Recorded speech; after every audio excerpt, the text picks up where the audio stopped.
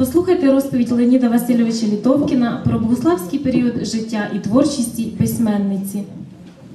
Добрий день. Продовжимо нашу розповідь про Марка Вовчка. Це було рівно 30, 35 років тому назад. У Богославі відкривався будинок-музей, е, де проживала сім'я Марка Вовчка. Е, На відкритті цього музею був онук Марії Олександрівни Вілінської, Борис Борисович Лобач Жученко. І я дуже радий з того, що мені довелося з ним спілкуватися, побачити його. І залишилось дуже приємне, хороше враження. Е, Він був тако, йому вже було більше 80 років тоді. Е, Був невисокого росту, такий стрункий, і як мені запам'яталося, начебто він займався е, авіаконструктор, авіаконструкторською справою. Це був онук Марії Олександрівни Вілінської. Ну а потім він розповідав нам про те, як же ж приїхала їхня сім'я сюди в Богуслав, е, його бабуся з сім'єю, як вони тут проживали. Значить, е, це було 119 років тому назад. 119 років назад. У 1885 році сім'я Марко Вовчок приїхала в Богуслав. Приїхали вони з Північного Кавказу. Вони там проживали у місті Ставрополі.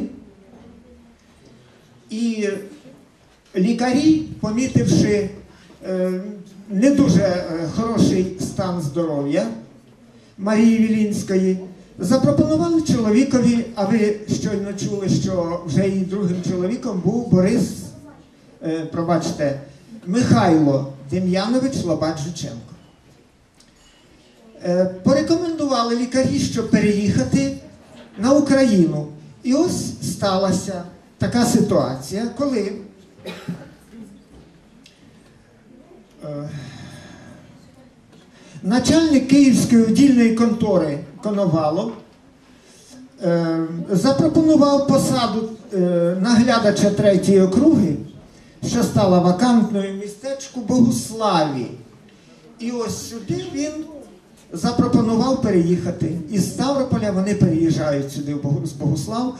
Це було в 1885 році. Е, Значить, будинок, в якому вони поселилися, знаходиться ось за торговим центром управо, якщо звідси йти е, маяк, е, або за приміщенням будинком районної адміністрації. Ось там цей будинок музей, де проживала сім'я. Але ж зовсім тоді була зовсім не така природа.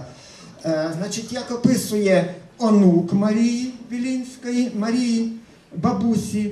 Будинок, е, значить, що він собою являв? Будинок був змазаними стінами і солом'яною стріхою, але у всіх кімнатах підлога стояв на крутій горі. Звичайно, що тепер немає. е, зараз там дорога йде туди до меблевої фабрики, а тоді ж не було. Була крута гора і прямо до Росії спускалася. Е, стояв на крутій горі, спускався до річки. До самих вікон підступали зараз ці бузини. Стежечки мальовничо кривуляли до швидкої річки, що збігла, бігла з нестихаючим плюскотом через нагромадження величезного каміння. У цьому місті, у цьому місті Рось ніколи не замерзала навіть у люті морози. Тут вони поселилися, самопочуття Марії Олександрівни поліпшилося, але приходить дуже неприємне повідомлення. Її сина Богдана, старшого сина, було заарештовано і е, відправлено е, до е, Новомосковської в'язниці. Е, Це справило на неї дуже тяжке враження. Вона сильно захворіла і змушена була з Богослава поїхати до Києва на лікування. Е, Повернувшись із Києва, в цьому ж таки 1885-му, е, вже в 1886 році вони прожили десь рік у Богославі. сім'я чоловікові Михайлу Дем'яновичу запропонували переїхати до села Хохітви. Вони переїхали і там прожила сім'я. Е, Ну, десь більше так е, розповідає, ну більше семи років сім'я прожила у, у селі Хохітві. Е, Як згадує, як згадує онук, бабуся дуже любила займатися водними процедурами. Вона постійно вранці і ввечері обливалася холодною водою, ходила до росі. Проживаючи у Богославі, вона багатьом людям допомагала, е, допомагала м, р- с- у спілкуванні із е, там, керівниками різного е, рангу, щоб в чомусь допомогти їм людям. Писала скарги, писала заяви. Але так склалися обставини, що сім'я змушена була виїжджати. Вона не хотіла виїжджати, вона хотіла проживати. Їй тут дуже подобалося, але змушені вони були виїхати звідси. Щоправда, у Богославі багато написала е, творів. Зокрема, про життя єврейської бідноти вона написала два твори: Е, це Холодний зимовий вечір і Хитрий Хаїмка. Саме про цей твір я хочу розповісти детальніше, але перед цим я, хочу сказати ще про те, що е, виїхавши з Богуслава, фактично потім вони більше, більше часу провели, прожили, сім'я вже прожила на північному Кавказі. От, але тут же е, їй, е, значить, е, у Е, е,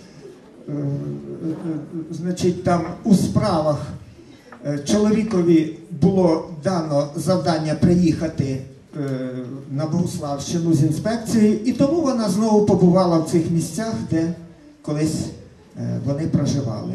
І побувала в Богославі, в Хохітві, і навіть у Стеблеві, де е, ми знаємо. е, Жив, народився Іван Семенович Нечуй Левицький, відомий вам е, по шкільних е, зі шкільної програми за творами Кайдашева сім'я і Микола Джері. Ну а тепер детальніше я зупинюся на оповіданні Хитрий Хаївка.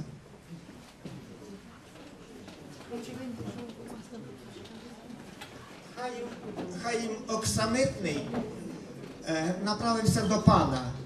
До пана, щоб той дав йому якусь хоча б роботу, тому що сім'я жила в проголодь, і треба було е, щось, е, якісь кошти заробити, щоб щось, е, щоб е, купити харчі сім'ї, прогодувати. І ось він направляється до маєтку грушки, до пана, до грушківського пана, щоб той дав йому якусь роботу. Дорога була не така вже і коротка, і що, ідучи по дорозі, він там собі роздумував, як він буде спілкуватись. Пан його зустрів, е, і він е, запропонував пан, запитав пана, якщо у вас є робота, дайте мені якусь роботу. Тому що в мене весь час от якийсь, якийсь негаразд із цими дітьми. Я буду цитувати мовою оригіналу, твір написаний російською мовою. У него Хаима чего-то не живут дети. Бьется он за них, как рыба об лед, бережет, жалеет. Они живут. Как минет 5-6 лет, так и начинается хворь. Так умерли Бася, Шмулик, Дувитка. Так теперь хереет и перля, тает, как воск на жару.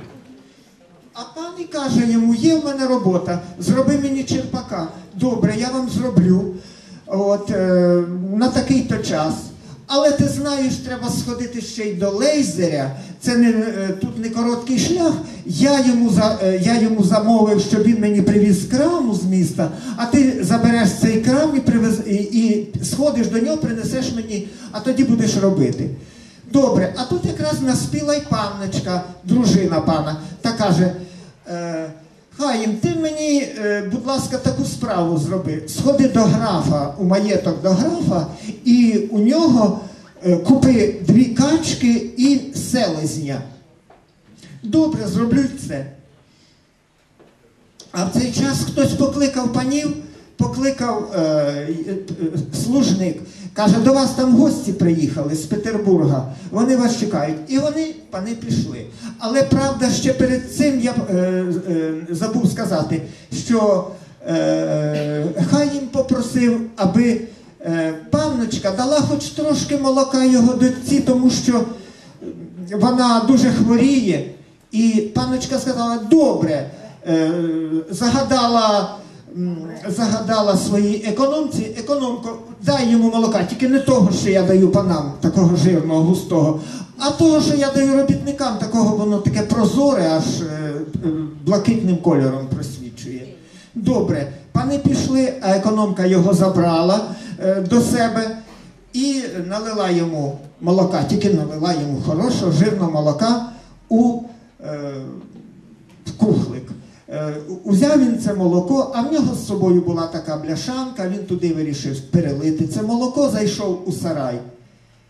Зайшов туди в сарай е, і е, тільки хотів, значить, перелити молоко.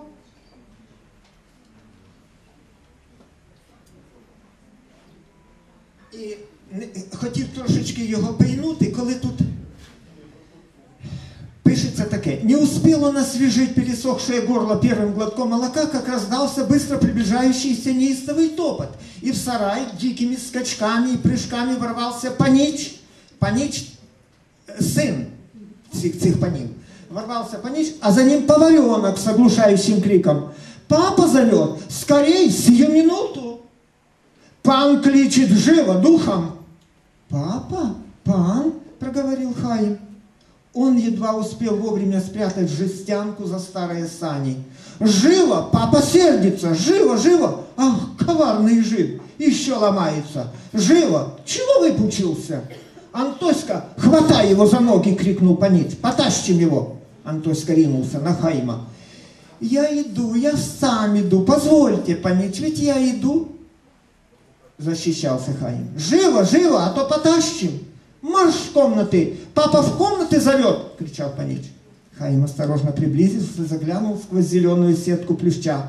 Пан и пани сидели с гостями, панами Рудановскими, у покрытого тончайшей скатертью стола, на котором уже красовался новый чайный сервиз. Разговаривали о ком-то. Зачем вдруг понадобился он, Хаим, пану? Прошу вас, панна Мариана, доложите пану, что я пришел. Пан меня звал. Хорошо, хорошо. Пошла и доложила. Пан вышел крайне недовольный. Тебе что еще надо? Изволили звать меня панить. Что за нахальный жид? Пошел вон! Хаим поспешно поспешил обратно в сарай, поскорее подкрепиться немножко и домой. Наступает вечерняя прохлада. Молоко он отлично донесет. Он так отощал, что у него немножко кружилась голова. К тому же стала одолевать нестерпимая жажда. Добравшись до сарая, он почти упал у старых саней, схватил кувшин с молоком, приблизил к пересохшим губам и тотчас отдернул. В молоке что-то плавало. Плавал большой зеленый кузнечик с оторванной ногой. Хаим поднялся, заглянул за сани, жестянка стояла, где он ее поставил, и казалось, в ней, к ней никто не прикасался. Но он все-таки взял ее, вынул втулку. Тут отчаянно вертелась бескрылая, живучая, круглая муха. В противоположном углу сарая раздалось хихиканье, затем писк, визг, мяуканье. Ну, ясно, що це пани насміхалися на мене. А тоді, а тоді Хаїм пішов до кухаря, який готував страви для панів, які ж там приймали своїх гостей, та й е, подав йому цей кухлик з молоком. А, а, а кухар питає, а чого ж ти не попив? А він каже, а він каже, подивіться, що тут у цьому ж е, кухлику.